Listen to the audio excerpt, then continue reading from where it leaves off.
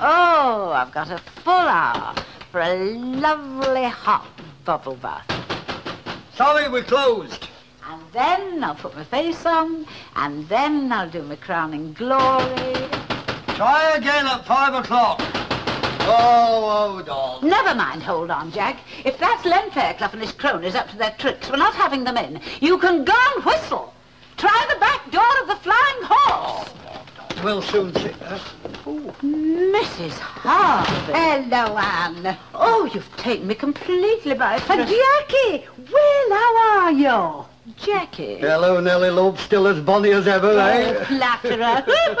Honestly, you can keep your David Nivens. Jack, I didn't know that you and Mrs. Harvey, you never mentioned, I didn't know that you Oh, and Jack- indeed, yes. We're old dancing partners, aren't we, Jackie? Yes. Ah, when was it? Oh, aye, Licensed Victualler's Ball, year before last. Three St. Bernard waltzes in a row. Oh, and doesn't he look smart? Yes, but then he always looks smart, your husband. I must apologise for my appearance, Mrs. Harvey, but you've taken me rather by surprise. I mean, I'm never so déshabillé at three in the afternoon. Oh, but... well, I'm sorry I'm early, and I should have let you That's know. all right, love, don't you fret. But I thought you might like to look over the Ladies' Committee's recommendations on cold buffet catering. Oh, yes, indeed. Any help I can give to the committee in Mind any you, if I'd known that my Jackie was going to be here, I'd have brought me dancing thumps. Shall we go through? Ah, straight through the glass doors into the Palais Paladie dance. Cheeky. Oh, honestly, you can keep your Lionel Blairs. oh, I did have a good Hey, time. at Nellie that. Love, ah, it was semi-finals and it was up to me, you see, till the fellas were nearly sitting on top at Jack. Uh, do you see much Crown Green bowling? Uh, Well, no, but I can picture it. Go on. So I said to myself, Jack, I said, big match temperament. That's what you need. It's either him or thee. Or you. Pardon? Him or you. Jack accidentally said or, or thee. You know, dear, I'm sure Mrs. Harvey isn't interested in your bowling exploits. Well, go on. What happened? Well, I said, oh, well, if I win, all well and good. And if I lose, well, it's only another cup less round it to polish. Honestly. Oh, he's a comic, isn't he? You can keep all your Jimmy Tarbuck. You know, Mrs. Harvey, on reflection, I rather veer to the opinion that point two should be emphasized more forcibly. That is, if you concur, of course. Point I mean, with what? your experience. Oh, the committee's recommendations on buffet catering.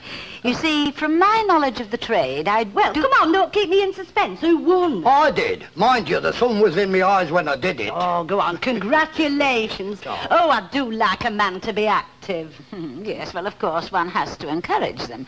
Now, point two, in accordance with the Food and Drug Acts, which, of course... Now, my Arthur, you know, is different again. Can I get him out of that armchair? Do you know, I think the only exercise he ever gets is driving to the Rotary meetings once a month. A little more strawberry flan, Mrs. Harvey. It is homemade. well, what about the master of the house? Hey? A little more for you, Jackie, or do you athletes have to keep in strict training? Well, actually, Jack hasn't got a sweet tooth. Do you know he wouldn't care if he never saw another cake or oh, strawberry? I'll risk it. You know what they say? The old woman forced a pig and it died. Yeah.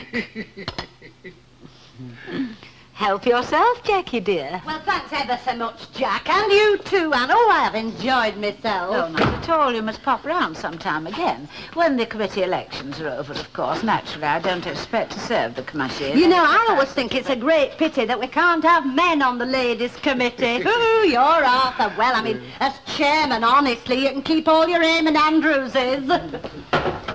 Of course, if ever I had the honour of being elected to the committee, which I don't imagine for one moment I should. Well, you better start then, Anne. Pardon? Imagining that you will, if I have my way, which I will, you'll be elected chairman. Oh, no. Oh, I can't believe it. Nothing was further from... I'll have a word with the girls. I usually see to it that they're guided by me. Oh, Mrs. Harvey, Nellie, if I am put on the committee, I'll Well, I'll see you at the next exec meeting then. Oh. Bye-bye, Jackie. Stay as sweet as you are. Ah, cheerio, love, and just be good now. Goodbye, Mrs. Harvey, and thank you. Well, chairman at Lady Victualler's, eh? So it seems. In the autumn of your years, may life present you with few tears, and for every hair that's grey, may you have great joy this day. Insist that you stay for a cup of tea. The kettle's just boiled. Well, I wasn't too sure how welcome I'd be after our little difference over the motel opening. Well, you were a little hasty in your judgment, weren't you, dear? But I'm not one to bear a grudge. It is, isn't it? what, dear? It is your birthday. Oh, yes, it is. I thought I hadn't got the date wrong. no, you haven't. I don't see any cards, though. I put them up in my bedroom, dear. They gather less dust there. Oh, it doesn't improve, does it? What? This district. Oh, well, it's the people that matter. Let's see, Anne. Um, how old will you be now? not getting any younger. no. well, I've been working it out, and I guess... Did you, dear? Eh, Anne Beaumont that was.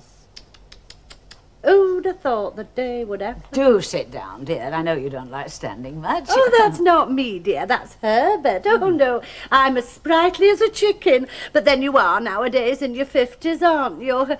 Especially if you've taken care of yourself. But here I am chattering on and nearly forgetting what I came for. What was that, Nellie? To give you these, of course. Oh. Now, first, the card.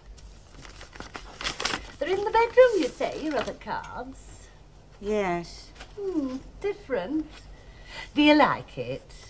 Very much. In the autumn of your days. I thought the verse was so appropriate. Yes, indeed. And now, your present. Chocolates? Shortbread. Shortbread. Actually, I got it in Scotland when Herbert and me were there at Wit.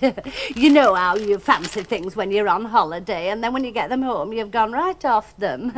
you do like shortbread, don't you? Love it.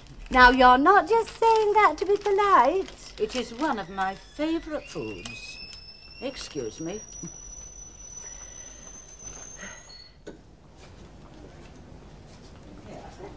Yoo-hoo! Anne! Nellie. Why, I'm having a surfeit of your company today. Well, I said to her, but I cannot let Anne spend her birthday evening without a friendly face to look at, I said. I'll go and cheer her up, I said. I thought perhaps you'd come to sample the shortbread. Oh, I thought I told you I can't stand shortbread. It's much too sweet for my taste. Hmm. I'm more of a savoury person. Indeed. Though, funnily enough, I do have just one exception. I like me sherry sweet. what a very resourceful way of asking for a drink, Nellie. Oh, do you think so? You're not very busy tonight. Not very. Of course, that's the trouble with houses in working class districts. There's only money about at the weekend. Yes, but they do spend a fair proportion of it in liquid refreshment. Oh, are you joining me, Anne? Not in the mood, dear. Well, a happy birthday then, and as many more as you're lucky enough to have. Thank you, dear. Tell me something, Anne, if mm-hmm. it's not too personal. As if you could ever be personal, Nellie. Are you beginning to feel different? You know, a bit feeble? No, no, I only ask because, well, you, you don't seem to have changed all that much. I mean, you're on this place on your own. Nellie, dear, Yes, Anne. I'll let you into a little secret. If I don't alter very much, it's because of this special treatment. Special treatment. Hmm. Not quite monkey glands, but something very similar. Costs the earth. Don't think I'm being nosy, Anne, but uh, how do you afford this special treatment? I mean, I know you can't be exactly rolling in it, a small working class house like this. I'm sorry you asked me that, Nellie, because you know how difficult it is for me to be untruthful. Go on.